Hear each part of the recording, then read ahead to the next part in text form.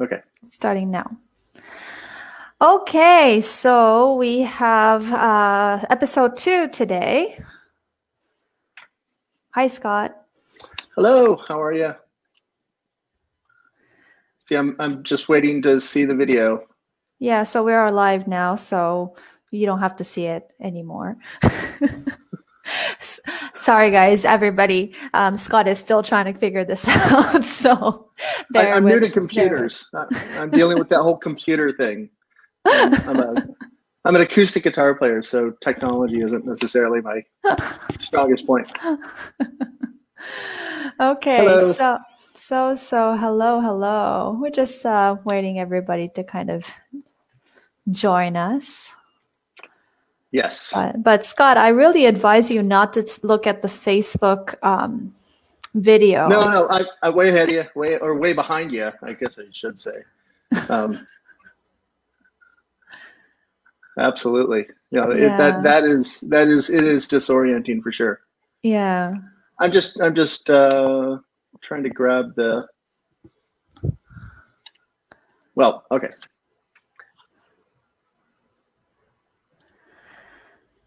Okay. Okay. So So um, my name is Chika Inoue and I'm a saxophone player. We're here um, with Chika and Scott as a saxophone and guitar duo. And this is our week two of, you know, we thought we would have a little chat about us and about how we um, get our musical life together on this yeah. chat. Yeah. Yeah, hey, I'm Scott, um, guitar player, uh, and uh, half of half of the duo. Um, today we're going to be talking about just playing music with with other instrumentalists, with other musicians. Um, you know, whether it be guitar and saxophone, or you know, guitar quartet, or you're maybe just playing chamber music of any kind. Maybe you're not a classical musician at all. Maybe you know you play in a band. Um, could be a lot of different things. So uh, yeah, that's that's that's what's on uh, tap for today, and you know we hope to have uh, an interesting conversation. Great. So, now, um, if I could um, just figure out how to share the link on my other Facebook pages, I would be super happy, and I could move on. Oh, do you, do, do you want me to send you the link? You know you really need to you really need to link your iMessage onto your computer. It makes my life so much easier. Yeah. I i know. I pur- i purposely disable it and uh, i'm sure that's a terrible idea. Okay. Well let me share it on my page. Um, let's see bear with us for a second because uh, we're still figuring this out. Week two. Yeah. Yeah. So I'm very excited that um, the CD, the the actual physical CD from Scott, you sent. I don't know how long ago was that.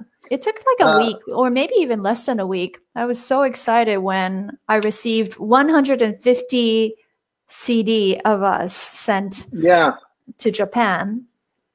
Yeah, I, you know, um, the post office said because of the shutdown, they couldn't guarantee when it might get there.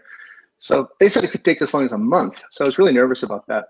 Yeah, I think it only took like four or five days. I think, which was yeah, impressive. I'm, yeah, which is which is great because we paid for the seven to ten day service, so it was better than they thought. So I guess they knew it was important, and uh, you know, good good for them.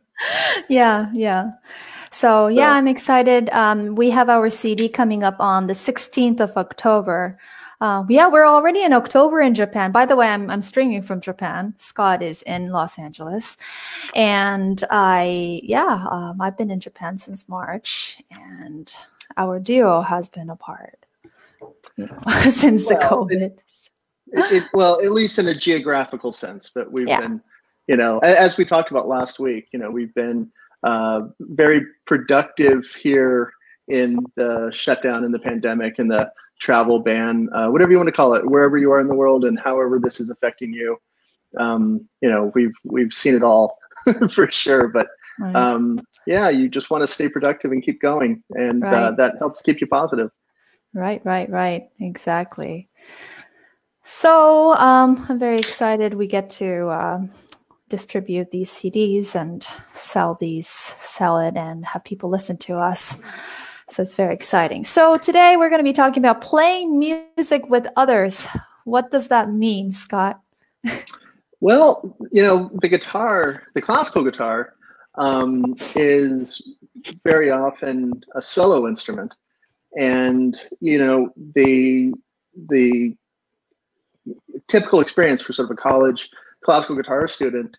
Um, you know, they they spend a lot of time in their practice room alone. You know, they probably grew up um, practicing a lot at home alone. And then you get to college and you're told you have to, you know, play in guitar ensemble and things like that. You're like, what are you talking about? Um, that's that's you know for for classical guitar because you know classical guitar players I know a lot many including myself started on uh, non-classical guitar and you probably played in bands and things like that and, and that's a very similar sort of thing. Well you were um, in a um, rock band right scott? I was yeah we, we, we, we were doing pretty well. That's uh, actually what brought me to hollywood california. Um, mm. um, yeah back when i was all of 17 years old. Can you believe my parents let me move to hollywood california when i was 17 on my own yeah. Terrible, terrible, irresponsible. Um, and you had a long blonde hair, right? I, I did. I, I, did. I did. Yeah, I was very, very cool, um, which you'd never guess in a million years now, I yeah. suppose. Yeah. But um, so you know, playing music with with you know people in a band, something like mm-hmm. that. Mm-hmm. But um, you know, classical guitar players, you know, we, we aren't really brought up like violinists or cellists, where you know you play in you know youth orchestra and you go to band camp like you do with saxophone and right. you know playing marching band and pep band and you know all these different things. You know we're the weirdos who like stay in our room all the time and you know are super awkward going out and socializing. At least you know that's how a lot of uh, at, at least at least you guys can you know sit at like a nice scenery like you know I, no, it's true. Know. And then you can just just just keep working on your techniques.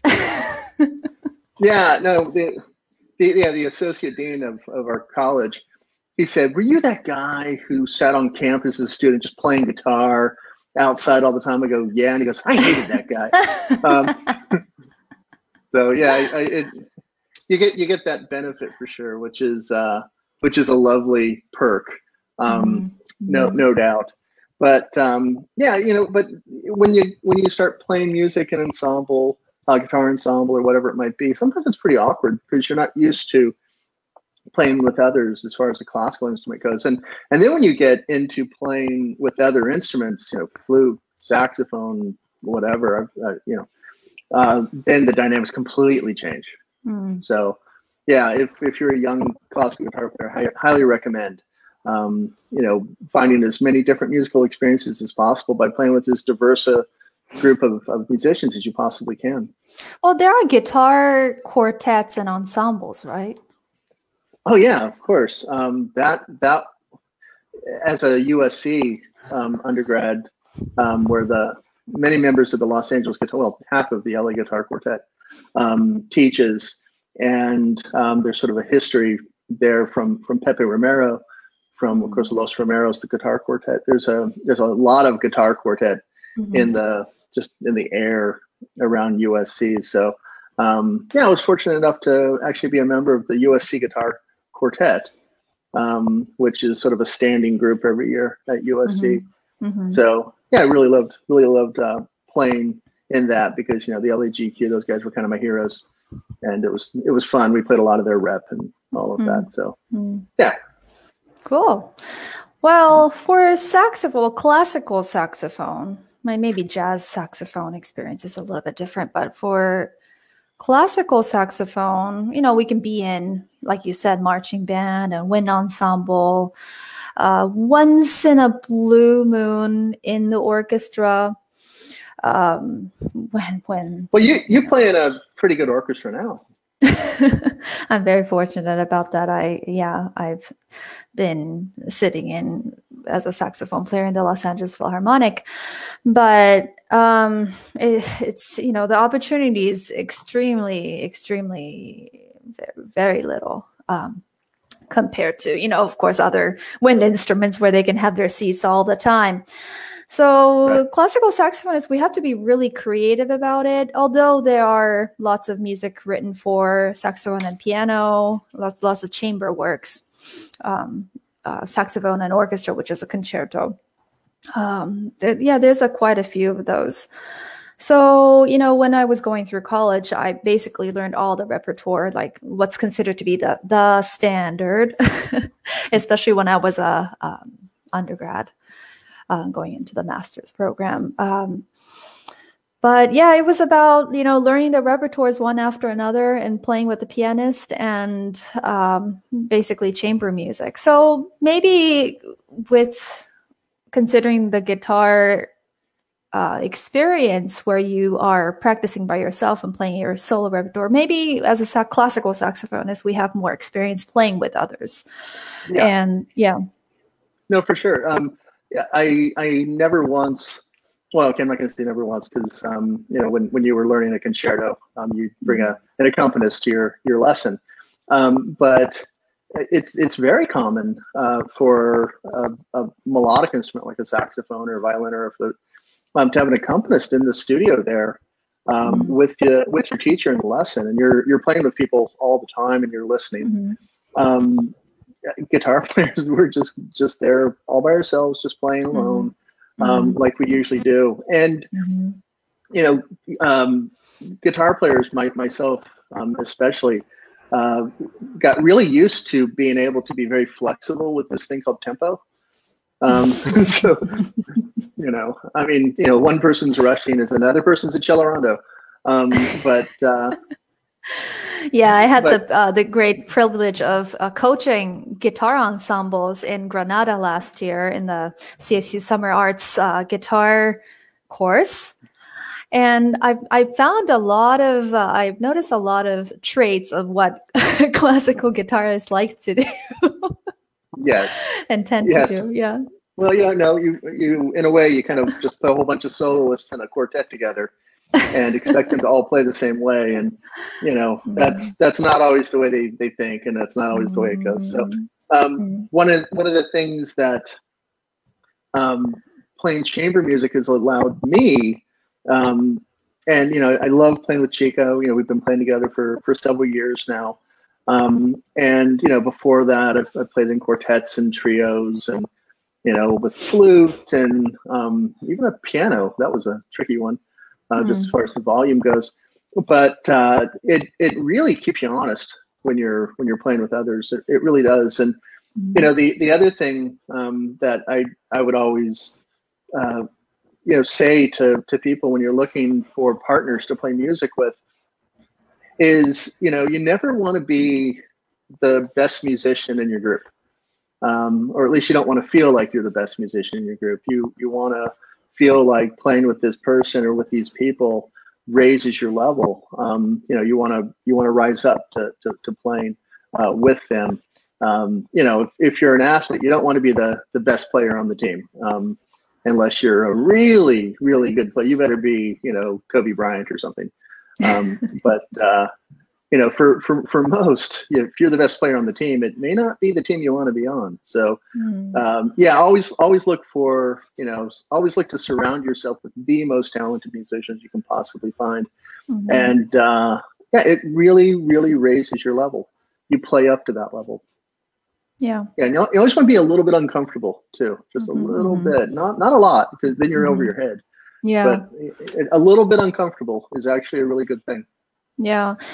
Uh, that's a great point. And you really have to be honest with each other too. Uh, well, to be able to be honest with each other when you're making music. Um, but you know, of course, depending on who who you're working with, um, you might have to be careful what you say. But um, that's true. Yeah, yeah. Well, you know, um, I I coached guitar ensemble for years. I don't I don't do it now at my university because I've got uh, Matthew Greif um, from the LA Guitar Quartet who, who works with me, and you know, you know, between me and him, I'd rather him coach the guitarists. We're doing a lot of uh, guitar uh, quartet and things like that. David Isaacs too for guitar orchestra, but um, you know, I, I would always say to to to the students in guitar ensemble who would come to me afterwards, like, oh, I don't want to play with Bob anymore. Bob's a jerk. And, you know, he just dominates the rehearsal. And, you know, I just can't stand, I, I need to get out of there. I'm like, you know, we should find a way. So if you're at a college and you're taking guitar and something, you should also get like double units or something in like psychology or sociology or something like or something conflict like management or something. Conflict management yeah um, exactly because you know you're you're you know, political science i don't know. You're you're you're just having to deal with other people and you know i some of the best groups in the world i'm not going to name any names but some of the best groups in the world don't get along at all mm. they don't travel together they don't hang out mm. socially mm. Um, uh, a, a really well-known group who again i'm not going to name uh, they said, "Yeah, we never hang out together." And I said, "Why?" I said, "Because we want to stay friends."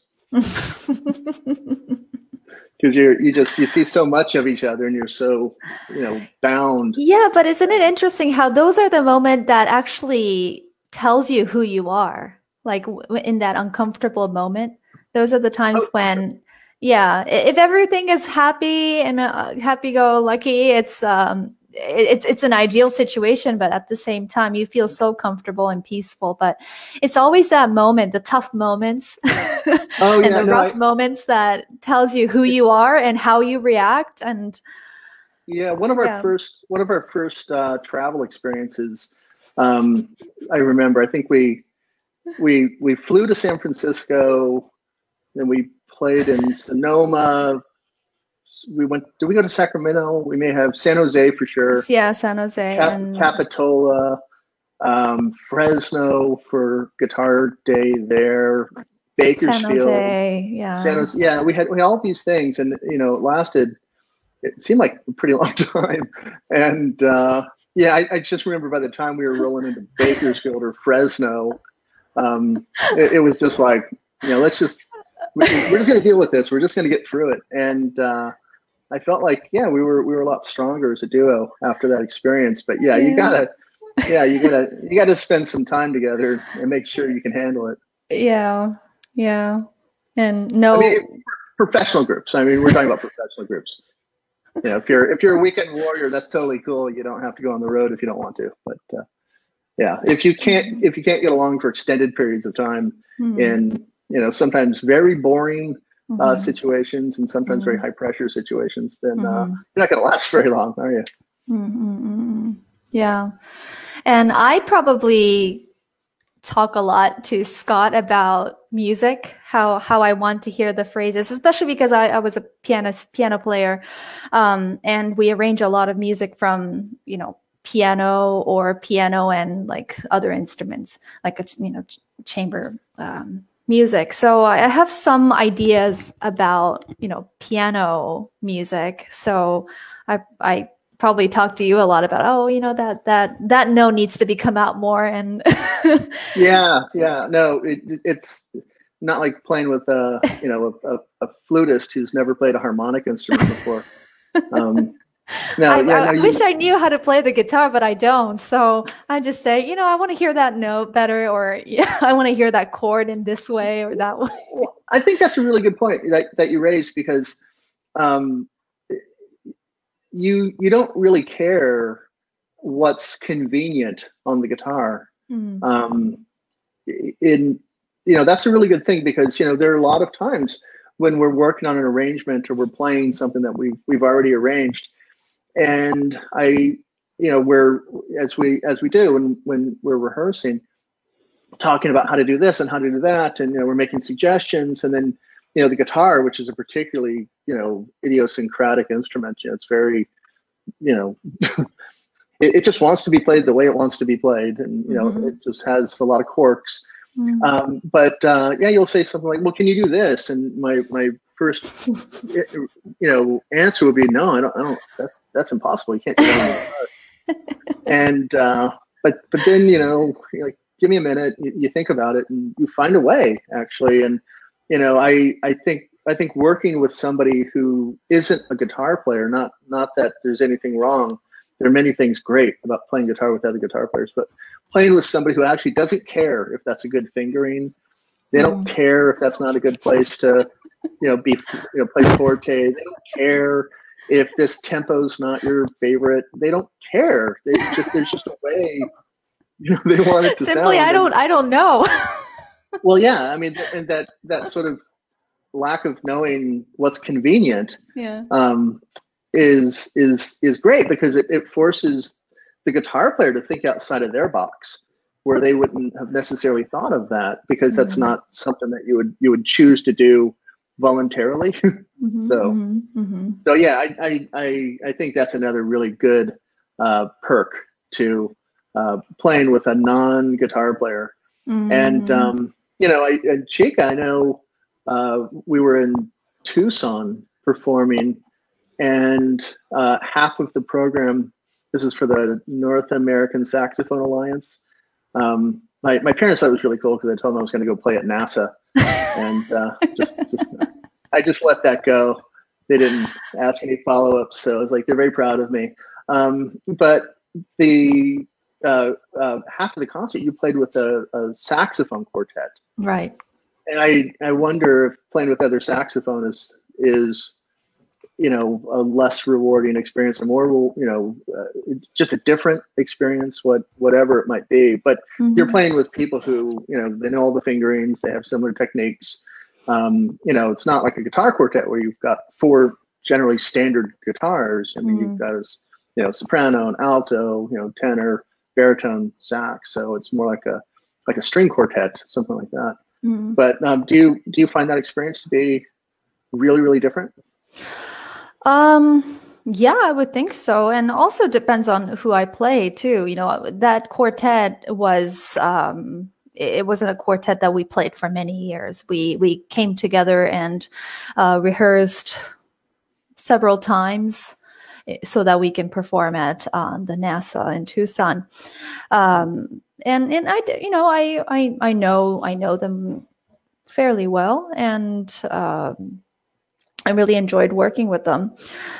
But like well, the, the comment about you're saying like everybody is saxophonist and knowing the fingerings and knowing the sound. Um, the um, it, it's interesting about saxophonist um, because we have been kind of trained, well, at least in an academic setting, to be a soloist. Basically, you know, it's always been no, a saxophone and piano. You know, yeah. Well, same thing with guitar.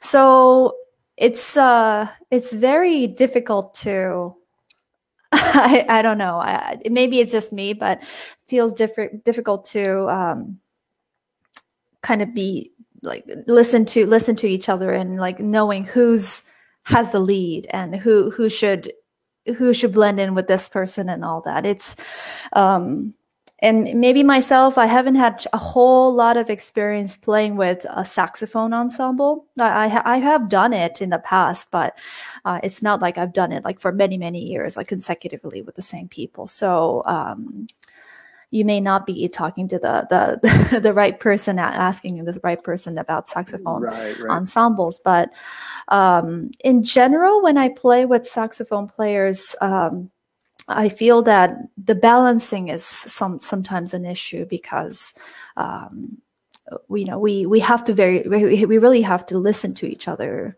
much closer as a saxophonist.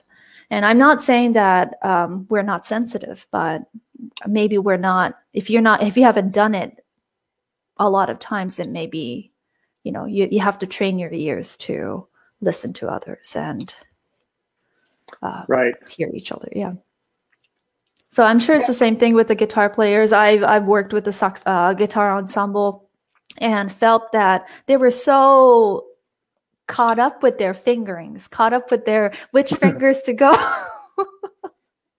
Um, their lines are so difficult you know and it, it, it becomes so narrow narrow-minded. But yeah, what I, they actually should be doing is to listen to others yeah, I, I think a lot of guitar players, um, they're they listen with their fingers, mm-hmm. and that's not uh, that, that that's that's not something you want to be doing, um, especially when you're playing with with others. Um, and uh, I think I think when you play music with others, it also um, dramatically improves your solo playing. Um, it it really informs your solo playing. It, Mhm. um, especially a a you know say a guitar player who plays solo a lot.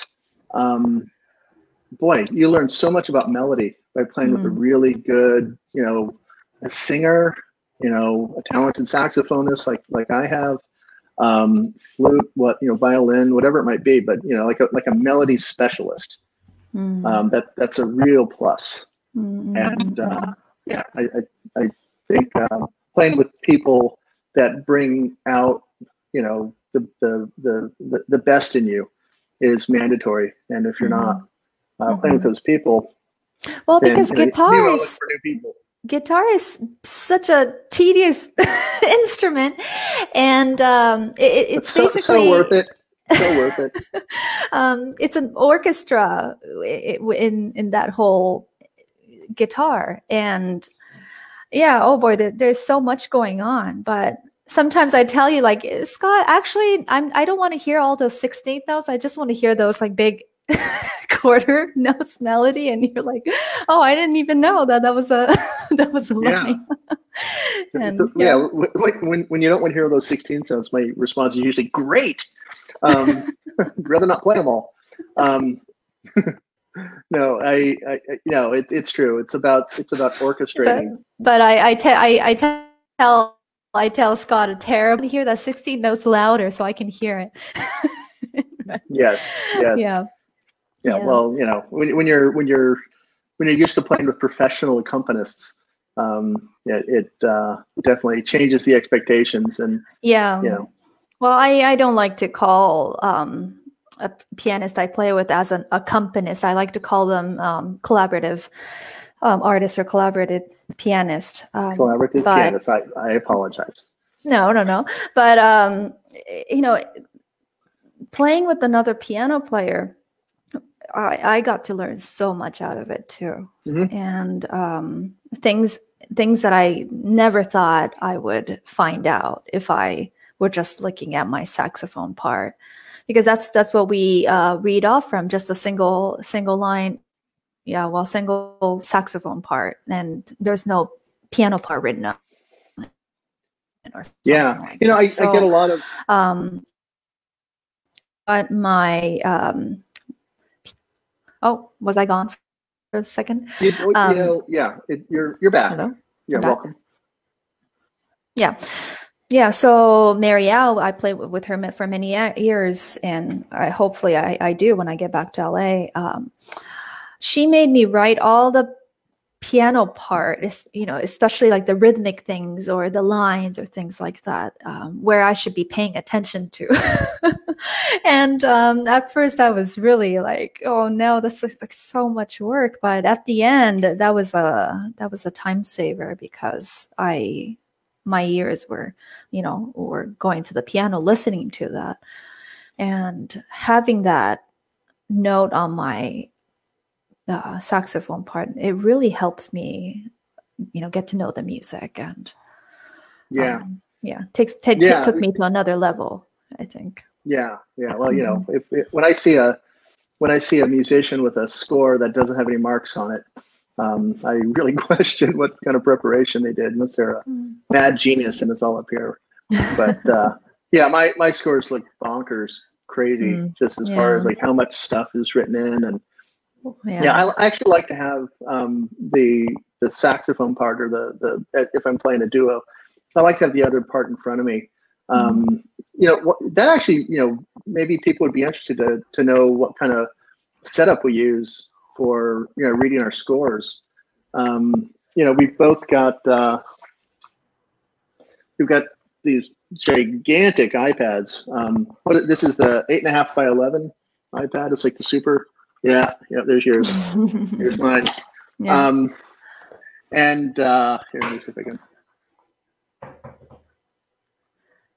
So we've got our our Maybe- music here, Mhm. and yeah, just everything. If you can see that, but you know, we've got this thing called forScore, and if you just you know tap here, yeah there. But we also have these Bluetooth foot pedals, which are really cool because you know a lot of the music we play, something Mhm. like you know the Schubert arpeggione, Mm-hmm. Um, you, you really, it, it's a really hard piece to memorize. I don't know anybody other than you know Schiff, um, who's who's memorized it. I'm sure somebody can correct me and name somebody, but I don't know anybody. Um, it's uh, pretty pretty pretty hard to do, uh, and you know it's 50 pages, 60 pages of score, and you can't just sit there and. I'm always impressed by pianists how they can just like go bang and just change the page like that, and you know I I, I could never do that. I'm too chicken. Um, but uh, yeah, the, the the iPad with with the app forScore uh, with a Bluetooth foot pedal is just the thing um, for for us. Works really really well. Um, and you know the other thing that's really nice about uh, having something like a like an iPad, um, you can have all of your scores there. So you know there's never you know the excuse of oh I, I didn't know we were going to be working on that or you know, I didn't bring that score with me, or my dog yeah. ate my homework. It, it's no, it's all there, all the time. You know, jazz. A lot of jazz musicians they have all the the real books and things like that all loaded in there. So it's kind of yeah. cool. You can walk around with a gigantic music library um, in your in your bag, which yeah. is which is great. Yeah, and Scott and I we share a Dropbox, so we can constantly um, share our music and update our music. And um, you know if it was in a, like a written form we would have to scan it and we would have to you know do a couple steps in order to like send each other music so yeah with this technology ipad using ipad and using dropbox it really has been a, a life changing yeah. game changing excuse me game changing experience yeah, for yeah. us yeah yeah and i'm really paranoid about mine I, I don't have anything on there except forScore i i don't uh I don't use it for anything else. It's just just for the music, mm-hmm. you know, just uh, just in case, you know. Um, but uh, I don't know. I mean, I guess if you're a little bit more brave than me, you could be checking your email during rehearsal and playing Candy Crush and things like that. That's please don't. No, no, I'm listening to you. please don't. no, I, I, I, I don't. Um, but yeah no, but to have it hooked up to Dropbox is great because you know you can actually mm-hmm. share scores um, with somebody right there on the spot mm-hmm. as well. Um, so if got an updated arrangement or something like that, it's great. You can just um, oh okay, I put the new one in Dropbox and yeah, you know you get it right there because Dropbox yeah. is how I get the scores to forScore, mm-hmm. mm-hmm. which which yeah. works. That's right. Know, great. I think. Yeah, and I moved all my um, data onto Dropbox now in my computer so I can access all my data from my iPhone to iPad to any devices if i if i'm out and i if i don't have any of my devices which is very rare um, mm-hmm. if i have to print those music out if i have to um, share those right. music yeah it's, it's it, it, has become very well you know it, god forbid you you lose your ipad or you know you you pack it for a trip and it gets destroyed by you know United Airlines or or you know it just dies something like that. If you have everything backed up in, in Dropbox, yeah, um, just go you know borrow a, another iPad, go pick up some, go pick up a new one. Mm-hmm. Um, you know, set up your forScore. You've got all your scores right there. Um, right. It's it's great. So you've got everything backed up. Um, which you know I, I think is wonderful. And you know we've got mm-hmm. the Apple pencils, so we can mm-hmm. we can annotate mm-hmm. the scores, things like yeah. that. So yeah, also yeah. also very very cool. And sometimes yeah. I you know it's funny I you know we play acoustic guitar and, and, saxophone, and sometimes we're just I feel like we're totally surrounded by all of these electronics. Um, I, it uh, you know got the iPad in front of you, you've got the Bluetooth foot pedal. Um, in order to play with saxophone, um, the classical guitar really uh, can't be uh, completely without amplification. And um, you know, trust me, I tried. I, I tried everything I could to amplify. Uh, I think we even played a couple of performances where we tried to get away yeah, with. Yeah, or the first few like the either the amp didn't work or the microphone didn't work or you know it, uh, things yeah, always yeah. happen yeah and then the every the first few uh, we were still figuring out which amp to use the microphone to use the setup right so yeah well, i was making the mistake of using an acoustic guitar amp for classical guitar mm-hmm. um, with with a microphone not a pickup mm-hmm. and mm-hmm. Um, it just doesn't work you get a lot of low end hums um, mm-hmm. you know god help you if you play an a Um, yeah, and you, you had the microphone where you you have your hands, so you kept you, you hit, hitting on the, it. yeah, it, it, there there were all sorts of problems. Yeah. Um, and uh, yeah, we we we tried a whole bunch of different things. So I, I started out with an AER, which is a German amp, which is which is great. It's the Tommy Emmanuel model. And if you're playing steel string and you've got a pickup um, in there, highly recommended. It's great, but it doesn't work so well with a mm-hmm. classical guitar and a and a and a microphone. And then I, you know, just moved over. I got away from amplifiers and started using powered speakers. So, you know, picked up a little Mackie uh, mm-hmm. before uh, a performance we did with with orchestra. We were playing with Iciola. Um, was that on Good Friday or Easter or I don't know. It was a holiday. I don't remember which mm-hmm. one, but mm-hmm. um, anyway, we are doing our, our, our famous Ave Maria uh, with with orchestra. Very cool. You can find it on our YouTube page, the rehearsal uh, for that. But um, yeah, what happened at that one? I think I I turned I turned the amp on off. No, off. you turned it off. No. I turned it off. Oh, and I remember. Okay, so I turned it. I I turned it off after sound check, and then mm-hmm. it sat there on stage, and I didn't know that the sound engineer turned it back on just before we got out there because I was expecting to plug in and then turn it on.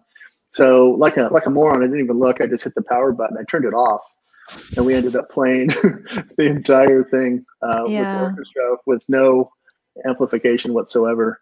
Yeah, uh, and oftentimes and, when we're on stage, we, we can't hear what can't the audience is hearing. So yeah, for yeah. the whole time, Scott had it off. Yeah, I did. But you know, fortunately, because of the the acoustics in that room and the nature of the piece, um, I, it was able to come through. It wasn't a it wasn't a total disaster, but mm-hmm. yeah, I wasn't thrilled about it. But um, no, we we bounced around with a whole bunch of different things, and um, I finally found for all you guitar players, I finally found what I believe is you know the solution um, for playing with uh, louder instruments if you don't want to sound like you're really amplified. And it's this thing called two mic, the two mic. So uh, two MIK. It's here's the little case that it comes in. It's pretty cool. Yeah, and, we'll be sure to um, write about that on our blog um, within yeah. the next few days.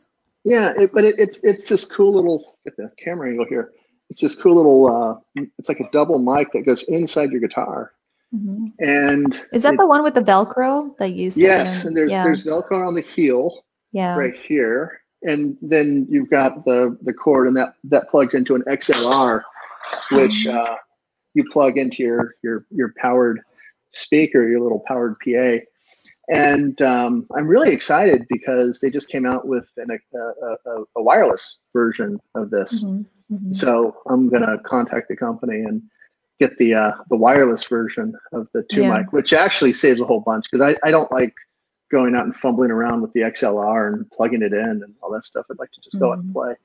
Um, yeah. But uh, yeah, so that and then um, the amplifier or the PA that I use is uh, it, it's a kind of hard to find brand, but if you can find it, it's well worth it. It's called LD Systems, and it's a German designed uh, speaker, powered speaker and I, it's the Stinger that I use.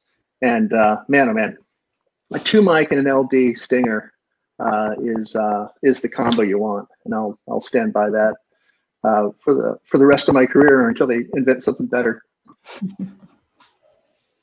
yeah, I'll, well, I'd be yeah, happy to put that in the in the chat later on, so you guys can all see what that stuff is. Mm-hmm. Yeah. Um, well, Scott has a lot of these gears on his uh, guitar, but I, I don't have to amplify anything. I'm I'm just a really loud instrument, so I just play as is, no microphone. Um, uh, I guess unless if we have to play at a like an arena or something like that, I don't think I um, have to amplify myself. Right. Um, no, we played at the NAMM show and you didn't amplify and it wasn't a problem. and uh, the, the NAMM show is that's a really loud environment. Oh, it's um, so loud. It's so loud. It's a mm-hmm. guitar center on steroids. It, Basically. It's really something. Yeah. yeah. But although I I am definitely playing much quieter than I would with the pianist and it's not it's not easy to play um you know those especially those like things that I want to really put in, you know, emphasis on in the phrasing or something like that um, with less volume. I, it, it, takes a lot of um, air support and also um, you, you have to really train yourself how to play quietly. And yeah. Yeah, yeah and I, I, I is, even though I could, I can play as loud as I want now because of the the the the uh, speaker mm-hmm. and the mm-hmm. microphone. Um, like you said, unless you're playing, you know, outdoors or you know, in a in a, a large amphitheater, an arena, something like that. But if you're playing in a concert hall, um, at least for me, that little voice in the back of my head is like I don't want to sound amplified, mm-hmm. so I don't I don't want to turn it up so loud that it's just unnatural yeah. for the classical guitar in mm-hmm. in in a concert hall type settings, yeah. right? Although I, I still meet, feel, although Scott, I, I, still feel that I can have a little, a little more of you, especially when you're when we're performing, and that's kind of like the feedback I get from the audience, because of course they can hear me, and, uh, you yeah. know the most. I think but... we, I think we meet we, we meet in the middle, but I'm always resisting turning up, and I, she always gets me to turn up at least two clicks more than I want to. And, uh, and Scott gets annoyed. yeah, louder, no louder. No. Um, yeah, it's it's a delicate instrument. It needs but yeah, yeah but that microphone is amazing. I'm I'm glad we found that. Yeah, I'd, I'd yeah. like to thank uh, Kai Narezo actually for hooking me up with that. Mm-hmm. Um, yeah, it's, it's a California company, uh, Northern California company. Mm-hmm. And uh, yeah, he kind of introduced a lot of us here in Southern California to the company. Mm-hmm. Don't don't don't quote me. At least they were. I think the entire LAGQ is using the two mic now. Um, they had a little cool. demo fitting, and they were impressed. So mm, yeah, yeah. One and, thing and I very good say, company. Yeah, one thing I would say for saxophone to play quiet, of course, practicing makes everything better. But um, adjusting your reed like finding the right reed and also the mouthpiece too. I'm playing on uh, Vandoren al5 which is slightly a bigger tip opening. And people are super impressed like why, why are you playing in that setting when when when it has a slightly you know wider tip opening? But for me using um, the right reed that i'm using which is a, a Blue Box 3 and AL5, works super great with how I trained myself to do that. Um, but if I were to use um, um, like number two and a half reed or something like that. I'm using three right now, but two and a half, or even a um, like a large number reed, like maybe four, three and a half. I would have a difficult time playing in a smooth, smooth and quietly. Verse. So I, it took it took me a while to find the right setup for me, and yeah, I'm I'm, I'm fairly satisfied with what I have. But yeah, I'm always yeah. looking for. Um, you know, and a, a best mouthpiece and the reed so that I can play quiet, um, very clear, and with the way with the with the way the color I want to. So, yeah, I'm, I'm glad yeah. we we both found the right setup for our duo. Yeah, no, for sure. oh, Chika, do we lose you? No, you're back. No, I'm here. okay, you, you there was a little spinning circle okay. of death there for a minute, but okay, but you're back. Um, okay. so uh, you know we're talking about our live setup but you know when we record yeah. um, it's a little bit of a different setup there as, as well right? Mm-hmm. Mm-hmm. so um, yeah so uh, so those of you uh, who are interested um, our cd is uh, getting out released on october 16th and you will hear the balance of us on the cd quite different. Yay quite different from us performing live.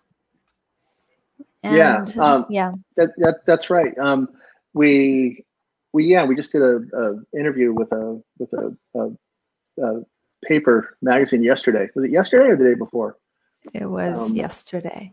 Yesterday. No, okay. The day before. I can't. I, you know, just time is so. And in, in true in full disclosure, I actually forgot. She had to call me like, where are you? We're in a we're in a video interview right now. Like, am I? was that today? Uh, but um, no, we we we told the the the journalist, uh, you know, that we play live on the on the record. There are no overdubs, and Um, you know, it's all done completely live, and he seemed kind of surprised. I guess he comes from a kind of a rock journalist background. Um, but uh, yeah, you know, you, you want the the producer that we work with, uh, a guy named Nico Bolas, and he he thinks all studio recordings should sound live. He's, he loves mm. that live sound, and you know, do you remember in the in the studio he actually stood in the room in front of us. Yeah. You know, like seriously, three or four feet in front of us with his arms yeah, crossed. Basically, the whole time he was we didn't play a note. Listening. Yeah, we didn't play a note without him right in front of us. Mm-hmm. That's and, very impressive. Uh, yeah, he, he did the same thing. Um, you know, back uh, when I did my first solo record with him, he's just sat mm-hmm. Indian style on the floor and had me play. And he said, "Just play to me, just play to me." But yeah, you know, you're you're you're playing to a person, which takes the I guess the sterile kind of nature of, mm. of being in the studio out of it. But um, again, you know, in the studio, we we had a little barrier between us, so there's no bleed from her instrument to uh, to, to my instrument, which you know I think uh, I think it's important to to to especially with chamber music if you're recording live. I'm really shocked when I hear classical musicians who actually uh, kind of layer their recording kind of like a, like a rock some rock bands you know you'll put down the drums first you know, maybe bass mm-hmm. you know, put the guitar on top once everything's done you know the singer comes in or maybe they came in before they did a scratch track and they're going to replace it later and mm-hmm. things like that for for classical music and, and jazz and you know things where you you know there's a lot of you know push and pull um, you know to not be playing together live i think you're really missing out it's going to come off very very stale i think yeah. Um, one one one question um, that uh, we got before we did this was, uh, what do you do when there's a disagreement? when you're playing with others. Yeah. We we wouldn't we wouldn't know. We never disagree. Um, you're gonna have to ask yeah? a different. so, so See, I'm not the only one who's read right now. That, that's good. Um, so yeah, what what do you do, um, Chika, when you're when you're playing with a musician? And you know, it doesn't have to be a you know, I don't like you, I don't like you either kind of disagreement. It could just be, mm. I just don't like how you're playing this. I you know, just don't hear it that way. I, I don't see, you know, that's the wrong tempo. It's the wrong feel. It's just you know, I don't hear it that way. So what do you do? Um, I'm I'm so lucky and fortunate that you you usually um, are very helpful and listen to my comment and kind of uh, try with my idea first. well, I'm I'm all about conflict avoidance, so. so I'm very appreciative of that because I'm very opinionated. it could be very opinionated. What? Um, what? no. I didn't notice. I.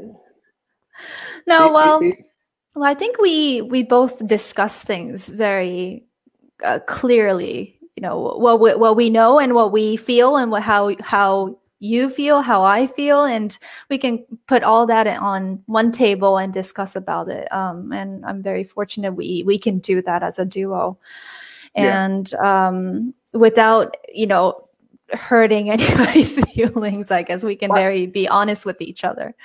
I I guess that you know I I like to say you can say anything to anybody if you say it the right way. Um, and you know it, it, there's a way to say something even if it's something critical um, that doesn't have to come off as sounding critical. It doesn't have to sound insulting. It doesn't have to sound belittling or you know demeaning. Um, you know it's it's I think what makes a good, you know, collaboration, what makes a good partnership is feeling free to bring your idea to the table without fear that you know you're gonna you know get into an argument about it yeah like hurting gonna, other uh, hurting other person's feelings. Yeah yeah yeah. Um you know any any any creative collaborative environment um, you need to feel like you can say what you're thinking um, without you know fear of retaliation of, of some kind.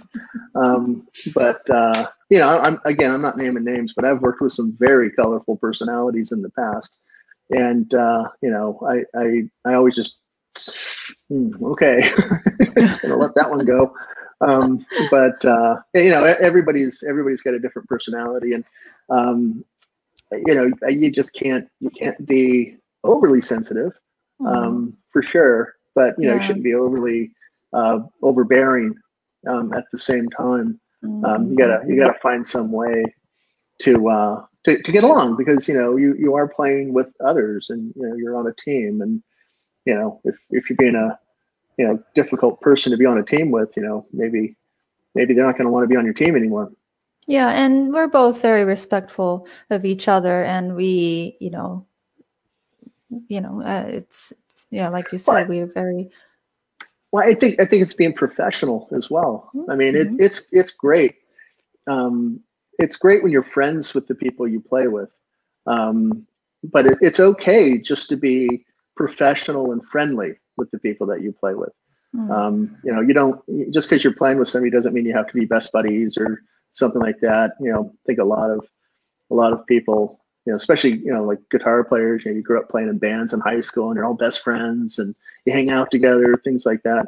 Mm-hmm. Um, but uh, you know, when when you're at this stage in your career, the the most important thing is to be professional, and you know, come come to rehearsal prepared. Don't waste anybody's time. Mm-hmm. Um, yeah, know your parts. Mm-hmm. Uh, you know, contribute uh, say things in a professional way. Don't don't be childish or juvenile about it.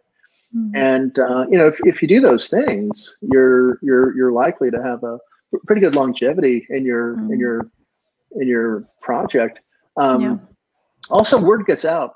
Um, you know that you're you're a good person to work with. So if somebody's looking for a musician for a session or mm-hmm. something like that, mm-hmm. um, you know, people want to work with people they like nobody, nobody wants to call that person that they can't stand um, for that session because I promise you, especially in a place like Los Angeles or New York or you know uh, London, um, you're not the only one. I mean that mm-hmm. that that uh, call sheet's going to be pretty deep.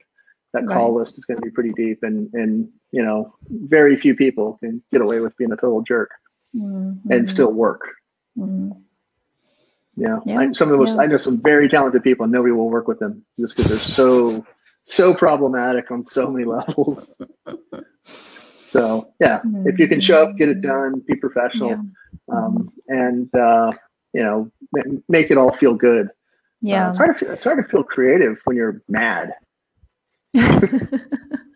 yeah, sometimes a great creativity comes when you're doing nothing, isn't it? Oh yeah. when you're uh, relaxed uh, and not doing, not not touching the instrument, not. I mean, of course, it come creativity comes when playing too, but. Um, yeah, like like yeah, when I'm sitting in ideas. my favorite chair watching golf on Sunday, you know, and somebody walks in the room. What are you doing? I'm being creative. Um, no, but you know, seriously though, I mean, you, you, you when you when you when you can kind of turn off your brain, um, that's when things usually come to you. Mm. Um, I read a great quote from Steve Vai just today. I can't remember it, but it was something like that. You know, you kind of have to turn off your brain in order to hmm. be receptive to creativity. Yeah. And uh, yeah, it, it's it's uh, it's true. It's really true. Or I think what Satie, Erik Satie, one of my favorite composers, um, said uh, the creative process looks a whole lot like boredom. How interesting. Yeah. Yeah. Yeah. yeah I guess yeah, the yeah. easy the easy burn there is like and your music shows it. But uh you know. I like Satie. I love Satie. I, my last my last solo record was all Erik Satie. That's right. And, uh, yeah. Oh, and, well, actually, it wasn't all solo, was it? Um, I I I did record a guitar duo there with Andrew York, Mm. And um, you know that was quite the experience. Just you know, talking about playing music with others. You know, Andrew York mm. Has been one of my heroes for you know decades um, before before I knew him. Mm. And uh, you know, great composer. You know, such a creative person. Um, you know, played with the Los Angeles Guitar Quartet for 20 plus years.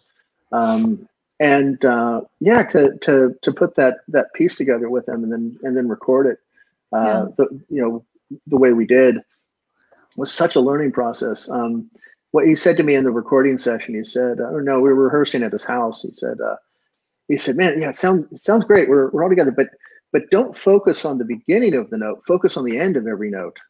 He's what? What are you talking about? Mm-hmm. And uh, we kept we kept doing that, and uh, it it I don't know, it all made perfect sense um, mm-hmm. after after just a minute or two. But mm-hmm. uh, you know, it, so again, you know, play play with people that make you better, and mm-hmm. um, you know, I'm I'm fortunate enough to be able to play with people like Chika and Andrew York and you know people like that. But uh, you know, you, you know, wherever you are in your musical journey, whether you're you know a teenager, you know, you know, still just kind of coming into your own, or a college student, or a mm-hmm. you know an older enthusiast who just likes to play, you know, for for fun. Um, you know, you should definitely find other people to play with. Definitely. Yeah. Yeah, it, yeah. It, and you will learn so much out of it. Yeah, yeah. No, it's like it's like if if you're really into tennis and all you ever do is hit off a ball machine, you're not you're not getting it. You know, you need to find someone to play with. It becomes so much more dynamic. Mm-hmm. You get so much more out of it. Mm-hmm. Um, so uh, I think we've, we've just got a few minutes um, yeah. to talk about next week. Yeah. Um, so next next week we're going to be talking about what do we say, Scott? We are going to be talking about how to grow or expand or reach um, people outside of the classical music world. So, mm. um, how how do classical musicians, um, composers, um, groups expand the audience beyond mm. the traditional classical audience? Mm. I've heard a lot about um, I've heard a lot about uh, orchestras who feel very much worried because their audience is of a certain age and they're not seeing younger mm-hmm. people come in mm-hmm. in a mm-hmm. lot of places and they're worried mm-hmm. about the future of those organizations so um, yeah. you know or or just for us just for us um, what are we uh, doing to you know go outside of that classical world um, right you know, I, I, it, with the yeah with the with an instrument that's known as a jazz instrument, jazz or pop instrument, and like guitar that's known as like a rock and you know a cool, uh, yeah, instrument. Um, we come together in playing classical music, so. Um, yeah, that's a very cool topic to talk about, and yeah, and I I, I, hope it'll be really, you know, interactive um, as far as uh, you know getting getting people watching involved because um, it's important. I, I think, and I, I, know some people are they're they're very um, some people I know, not everybody. It's not a not a general statement, but some people I know, they're very sort of like, well, you don't, you know, classical music doesn't come to you. You have to come to it, and you know, a lot of these very sort of like, oh, you really um, kind of uh, statements. And, uh, you know, it, it, sounds like somebody trying to impress somebody at a coffee house somewhere, I guess. But, um, but yeah, I, I, think expanding the audience is something I know Chika and I are very much interested in. Um, you know, we, we, we want nothing more than to play for, you know, large general audiences. Mm-hmm. And, uh, you know, I, I, I, I think, uh, reaching as many people as possible with your music should be uh, the goal of, of every of every musician. Mm-hmm. And you don't have to compromise yourself and just play, you know, cheesy, you know, hits to, to do which that. which I see all the time. In, yeah. In saxophone yeah. or even in guitar or in any instruments, I think it feels. Yeah. So how, so that's what we're going to be talking about. You know how to how to maintain your integrity as mm-hmm. a as a musician um, although, you know, most of us, if we're being honest, if you had a chance to really sell out, you wouldn't a heartbeat. Um, you know, the, the, great line from Gene Simmons, you know, it's like people say we're mm-hmm. sellouts, and I say, yep, every night we play. Um, mm-hmm. so, uh, yeah, but great. So, so uh, we have yeah, we have a few comments uh, that was posted. Thank you, Marco. He was my saxophone student a while ago. And you have your friend Tony Romack, Scott. And oh, hey. I must Yeah. be looking at the wrong page. I'm not seeing comments on this and, particular. one. and Kevin is saying that um, he's been it's been on his wish list the the two mic Mhm. um, and glad to hear it's working out. Javier, saludos. Um, and Javier, what are you saying? Um, he's asking, do you guys believe that playing popular music would enrich your musicianship, musicianship and the other way around? Training classically would make you better at playing popular music. I think we're going to talk about that next week, definitely. Yeah, yeah, Yeah. for, for sure. Uh, Yeah. yeah. there is the if you can play classical music, you can play anything thing. But I trust me, I know classical players they can't play anything. But uh, yeah, I, um, yeah, I think that's a topic for next week, and I, I Mm-hmm. think it's um, about just becoming as diverse a musician as you can be, and everything Right. you can bring to you as an artist, you can you can Yeah. learn from. Yeah. So thank you um, for the question, Javier. We're going to be um, talking about that, uh, the question you asked next week. Okay, Okay, next- great. next week we'll wear cool hats and leather jackets and everything, just to you know try to Is it getting? our- no, it's it's kind of getting chilly in Japan, which is really not chilly, but it, it's good, really good weather here. No, I think it was a 100, 100 degrees in LA today. Oh my, Yeah, but Yeah. you know, at least the smoke's gone, so it doesn't look that's like a blood. But it's still burning, right? Yeah, yeah. It, It, Yeah. it depending on where you live, it, it Yeah. definitely is. But I Mhm, checked. Twitter today, and San Andreas was trending number one, which didn't make me feel very good. So we're we're currently having a little earthquake swarm. So Oh wow, um, that'll be yeah. disastrous. ah, yeah, we've been through it all. Whatever. It- it- Okay. That, that's why you leave your guitar in a case at night. yeah, yeah, There's yeah. a pro tip for you people. Um, Okay, so Alrighty. we'll so see you next week. We'll see you next week. Bye.